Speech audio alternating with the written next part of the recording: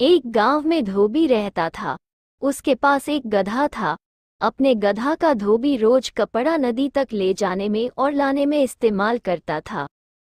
एक दिन जल्दी काम खत्म हो गया तो धोबी गधा के घास चरने के लिए छोड़ के आ गया। तो गधा की घास चरते चरते बहुत दूर निकल गया तो गधा भूल गया घर जाने का रास्ता। तो धोबी उधर खोजने लगा गधा का। खोजते खोजते एक पड़ोस के गाँव में चला गया। वहाँ गया तो रात हो गया। तो एक आदमी मिला तो कहा, क्या आपने इस रास्ते गधा जाते देखे हैं? तो आदमी ने बोला, नहीं, आपके गधा नहीं देखा हूँ। लेकिन हमारे घर के पीछा एक दो दिन से लगता है कि कोई जानवर रहता है। क्या पता आपका गधा भी हो सकता है? तो धोबी बोला तो चलिए आपके घर चलते हैं। तो धोबी उस आदमी के घर गया। तो उस आदमी के घर में बस एक लड़का था। तो कुछ देर बाद बारिश होने लगा। तो आदमी बोला अपने लड़का से, नहीं, बाघ का डर है, नहीं, शेर के सबसे ज़्यादा डर है। टिप टिप के मतलब कंबल सूखने के लिए रखा था। बारिश का डर था कि कहीं गिला न हो जाए।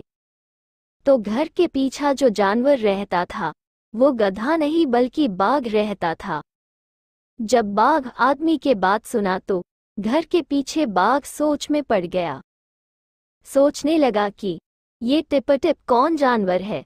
यार लगता है कि हम लोग से भी कोई खौफनाक जानवर है।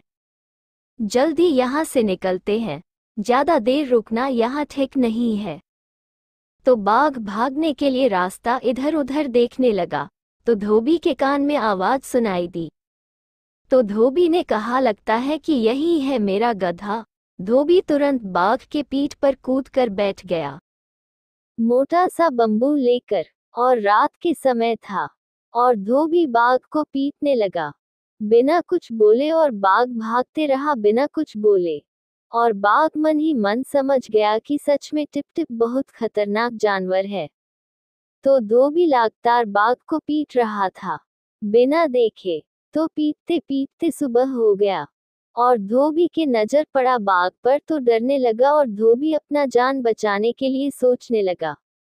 तो एक पेड़ मिला तो पकड़ के लटक गया और बाघ भागते रहा और धोबी गया घर तो देखा गधा घर आकर बैठा है।